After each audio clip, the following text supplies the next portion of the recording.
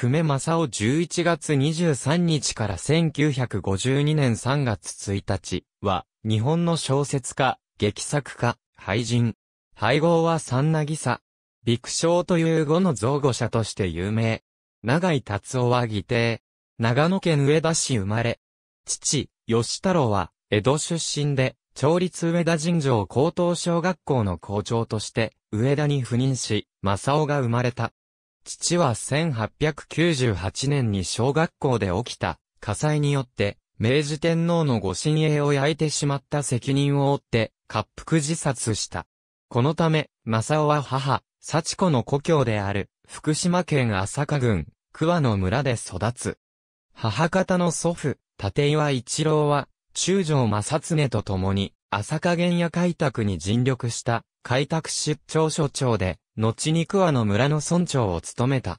東京帝国大学を卒業する1916年頃の第4次新市長のメンバー。久米正夫は一番左、その隣から松岡譲、芥川龍之介、成瀬正一。旧制の福島県立朝霞中学校では俳句に熱中し、廃談で有望視された。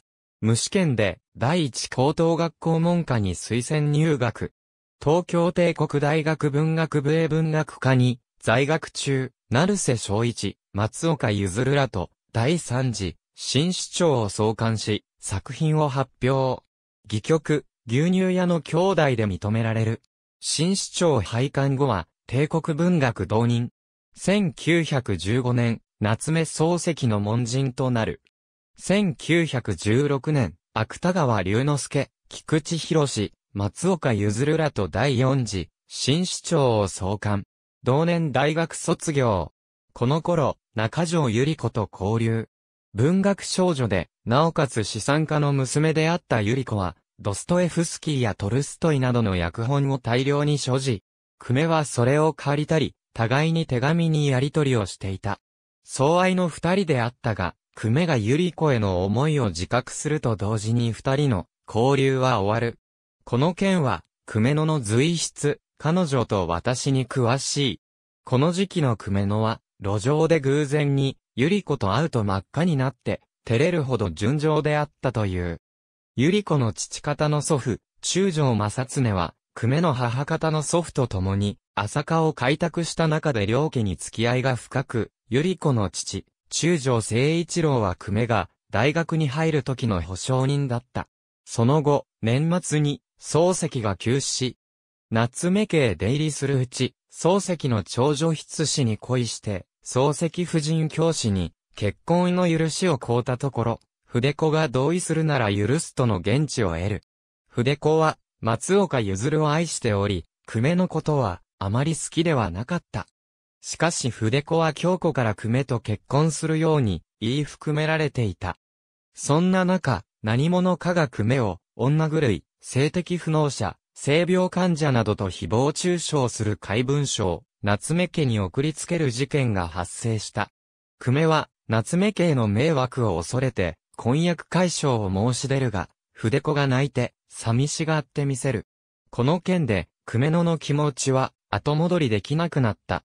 京子は娘婿にはしばらくは漱石の判権管理などをさせたがっており、久米には小説を書かせたがらなかった。久米はそれに逆らい執筆続行の意思を表明。京子の怒りを買う。このことから筆子への恋は破れた。その後、筆子は、久米野の親友であった松岡譲と結婚。この結婚に、共通の友人であった芥川龍之介は怒り、松岡を揶揄する句を久米への手紙に書いている。しかし久米野は、松岡への友愛の情を捨てられず、何度も連絡を取ろうとしては拒絶されたことを、後の短編で告白している。なお、京子は後に、久米に、息子の件で相談がある旨の手紙を出すなど久米を、頼ってもいる。久米野は、失意のあまり一旦郷里に帰るが、1918年4日ほどいただけで、再上京。生活のために職を探していたところ、菊池博士の勧めで、時事新報に、ホタル草を連載させ、この通俗小説は、好評を博した。以後、数多くの通俗小説を書いた。このホタルグサの連載中の4月、松岡譲と筆子の結婚式当日に、朝日新聞に、久米を中傷する記事が大きく報じられる。筆子に一方的に連母した、愚かしい男という内容で、醜い義がまでついていた。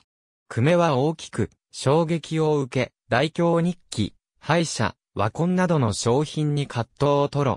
しかしこの新聞記事により、世論は、久米への同情へ傾いたことを両友悪友に書いている。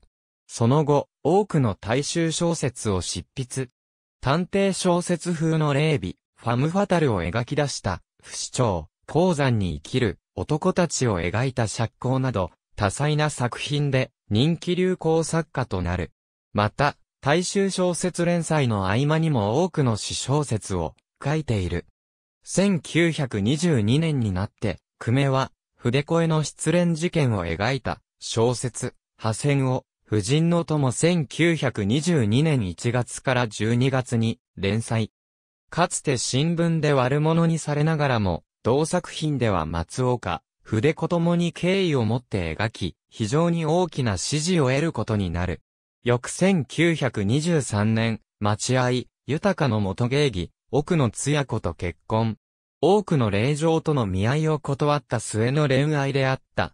婚約期間中は、体の関係を持たないようにするなど、真面目な交際をしたという。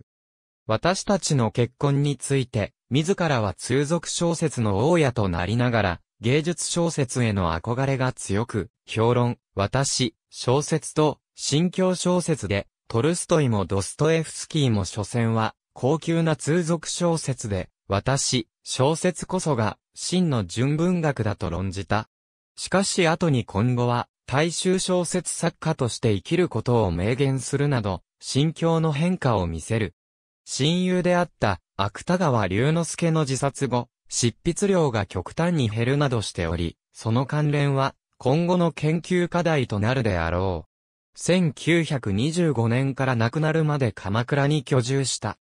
1932年、石橋丹山の後を継いで、鎌倉の町議に立候補しトップ当選したが、1933年、川口松太郎や里見トンと共に、花札賭博で警察に検挙された。身内でやる些細なものであったため不起訴となる。1937年、ニースの社肉祭に触発されて、おさらぎ二郎ら鎌倉在住の作家仲間らと、鎌倉カーニバルを企画。戦時中の中断を挟みながら1962年まで続くイベントへ成長させた。1938年には東京日日新聞の学芸部長に就任。第二次世界大戦中は日本文学報告会の事務局長を務めた。1945年5月、鎌倉文史の蔵書をもとに川端康成たちと開いた貸本屋、鎌倉文庫の社長も務め、文芸雑誌、人間や大衆小説誌、文芸往来を創刊した。鎌倉ペンクラブ初代会長としても活躍。菊池との友情は長く続いた。戦後松岡と和解し、桜菊書院、小説と読み物を舞台に、夏目漱石賞を創設して松岡と共に、選考委員を務めたが、桜菊書院が倒産したため一回で終わった。晩年は高血圧に悩み、脳一血で急逝した。期日は3、なぎさき、もしくはビクショウ期と呼ばれる。全員13巻の久米正夫全集は、1993年に、本の友社から復刻された。第二の故郷とも言うべき、郡山の、郡山文学の森資料館の中に、久米正夫記念館があり、鎌倉の自宅が移築されている。ありがとうございます。